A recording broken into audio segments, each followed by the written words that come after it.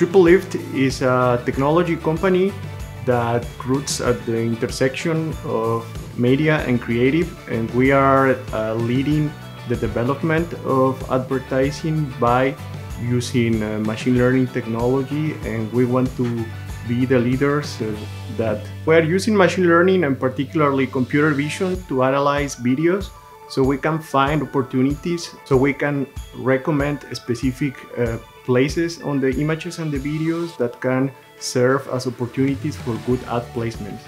What we are trying to do is create a context around the actions that are happening in the videos and ultimately we can use that context to create better insights and make better ad placement recommendations. At TripleLift we've invented a new programmatic OTT ad format and so for that we're building machine learning computer vision models to do that analysis. And so we're deploying those models using SageMaker, um, doing the training and, and iteration using SageMaker. And then the next part of the technology that we use is we have to actually do the brand compositing. How do we make sure that uh, individual end users are seeing these ad experiences delivered in a seamless way that's non-interruptive to the viewing experience um, and that's where MediaTailor comes in because we're using server-side ad insertion to deliver these moments seamlessly. It has a huge impact because it means I can give better ad placement recommendations uh, much faster